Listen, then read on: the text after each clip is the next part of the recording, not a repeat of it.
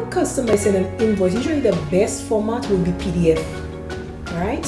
Usually they send it in Word, they will copy and paste it in Word, but what happens, it's a bit distorted, right? So the best format, you go onto Amazon, you right click, you save it as a PDF. Old Navy, save it as a PDF. Old Navy, Fashion Nova, um, sometimes eBay, they would, the order confirmation can serve as an invoice, right? You could just forward us that as well. We would, you know, just save it as a PDF and print right away. But the best format for invoices is save it as a PDF and email it to West Tech. Usually customers send screenshots because I mean everybody's on the go now. So they'll use their phone, they'll probably send a screenshot.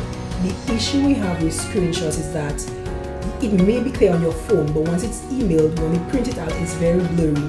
Now we will try our very best to, I mean, not go back to the customer and tell them, you know, use a computer. Sometimes we'll try to zoom in, that would work, but once it's we zoom in and it's still blurry when printed, we'll reach back out to the customer and say, you know what, you need to send a proper invoice.